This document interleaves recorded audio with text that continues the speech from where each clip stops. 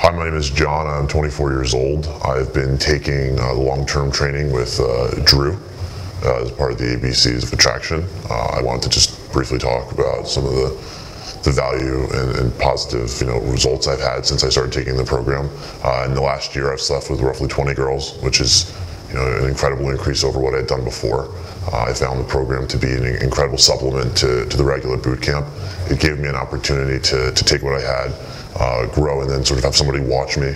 You know, I found that you know an example is sort of remember the first night I went out with Dru and I escalated with the girl, but I didn't know to, how to take it any further or how to kiss her. Then the next night I went out with him. I made out with the girl, but I did too much. And then, so then the next time Dru came down, after that, you know, I, brought the girl back to, I brought a girl back to my apartment, didn't know how to escalate her there. And then the fourth night I, I slept, you know, I redid sort of the same thing, and I was able to sleep with a, a girl. And it was sort of having that person by me side by side to watch me grow that I found to be incredibly helpful. Um, last night, I took uh, a boot camp uh, with uh, Jeff Khan uh, and got laid. Um, Wednesday, I thought he was a great instructor as well, very helpful, very positive. and uh, this has been great for me. And I wanted to share this with other, you know, other men out there. I, would recommend uh, the ABCs of Attraction with Jeff Khan.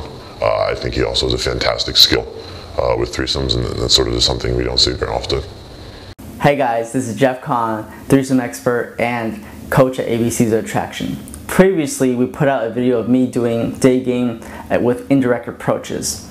Uh, many of you guys commented below saying that you wanted to see a full-length interaction. The thing about the previous video was that all my interactions were kind of fast forward because we wanted to show all my sets. So uh, this set that was most voted on is the most solid one. It was my last set. It was